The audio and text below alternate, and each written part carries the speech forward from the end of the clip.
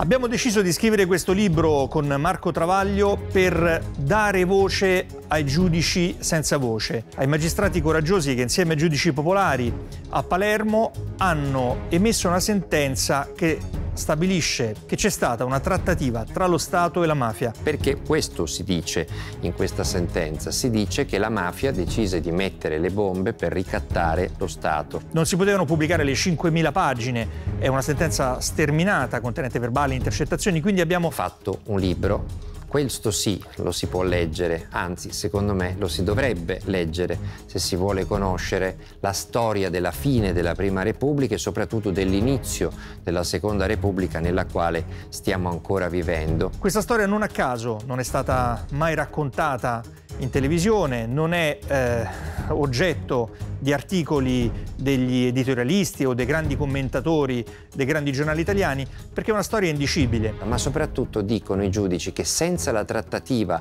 avviata dal ROS dei Carabinieri con il mafioso Ciancimino perché facesse da intermediario con Rina e poi con Provenzano, non avremmo avuto le stragi di Roma, Firenze e Milano del 1993. Trattativa iniziata nel 1992 dagli ufficiali dei Carabinieri del ROS, trattativa chiusa nel 1994 dal cofondatore di Forza Italia, Marcello Dell'Utri. Ecco, per chi voglia capire davvero quello che è successo in Italia nel passaggio tra la Prima e la Seconda Repubblica, dal 6 dicembre in edicola e in libreria. Padrini fondatori, la sentenza sulla trattativa Stato-mafia che battezzò col sangue la Seconda Repubblica. Edizioni Paper First, le edizioni del Fatto Quotidiano. È una guida molto molto utile. Non perdetevelo.